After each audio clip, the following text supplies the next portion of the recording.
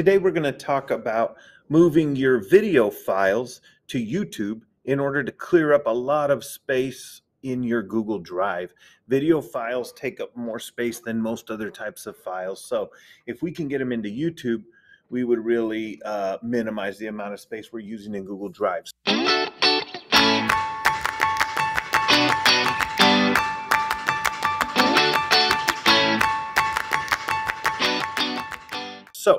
There's a few different ways to do this, but um, if you've only got one, uh, let's say you go and find the video in your Google Drive and you select it. All you have to do is right click or two finger click and say download. And you'll notice right down here in the bottom left, it's downloading and it'll be done in a few seconds depending on how big it is. Now you're going to go to your YouTube channel by just, you can go youtube.com, you can go from the waffle menu, you're going to hit YouTube and then right over here on the left, you're going to click your videos.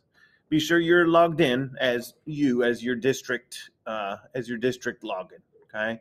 Um, now, these are all your videos. You may not have any if you've never done it before. Now, all you do is go to create, upload videos, and you can either, if it's still down here, you can grab it and just drag it, uh, drag and drop right here, or you can click select files and it should be in your downloads. The you know the latest thing. I usually go to recents, but you can see um, the latest thing that you've uh, downloaded. It was called Video Playback. There it is, and you would just hit open. Okay, and it's going to upload your file. And then here you can change the title. You can give it a description. You can choose a thumbnail or just let it choose one for you. You can go to playlists. I have a bunch of them already created. If you want to kind of categorize your stuff, you can just click new playlist here, create a new one and put it in there. You don't have to do that though. And then here, um, audience, you're going to want to say, yes, it's made for kids if you made it for students to see. Okay, then you're going to click next, next, next, all the way to the last uh, screen. You're going to want to change to unlisted. Okay, because if it's private, then no one can see it. You're going to choose unlisted, and then you are going to simply click save. And that's it. You've got your video up on YouTube. It may take a minute or two to finish completely processing. As you see right here, it even gives you a percent. It's checking it. Um, it's checking it, and it'll be done in a few seconds. So now um, here is your video. And all you have to do is grab the link to it. You can click here view on YouTube. You can open it right here.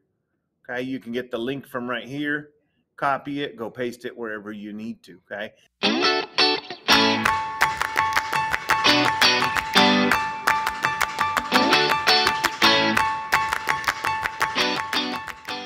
Let's say you want more than just one. You want to download more than one video file in order to put them up on YouTube. All you would do is find them and select them using a little checkbox, or you can hold down the command or control key as you click.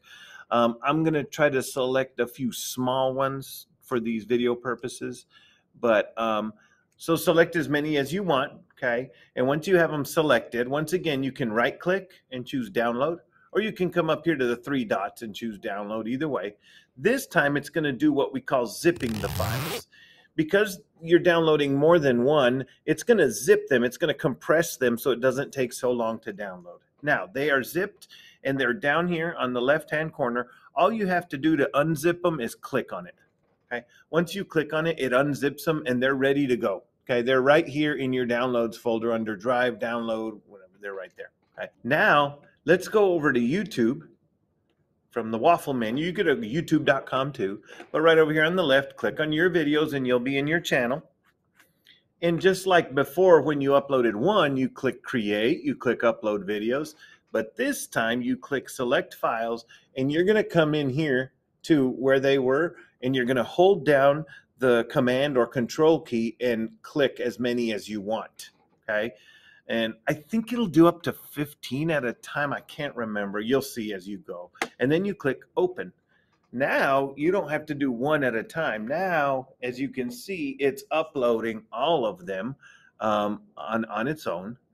And now you will see them when it's done. You'll see them right over here. I uh, may have to hit refresh. There you go. You see the three that are currently, they're uploaded, but it does a check and things like that. So but they are there And just like the rest of them, you can go through each of them. You'll want to make sure that visibility right here is unlisted and not private. Um, you won't be able to do it till it's done processing. Okay. But again, you can open each of them by clicking on the title, give it a title, give it a description, change the thumbnail, select a playlist, say, yes, it's made for kids, all of this stuff, just like you did when you uploaded just the one. Okay. Make sure it's unlisted. And then you can click save. And then you will see the link to it right here. If you want to grab it there, you can hit copy and get the link. Um, if you forgot to grab it, you can always come here and you can click on one of these to get the link. Okay, there it is, uh, get shareable link, and you can copy it there. So that's how to do more than one at a time.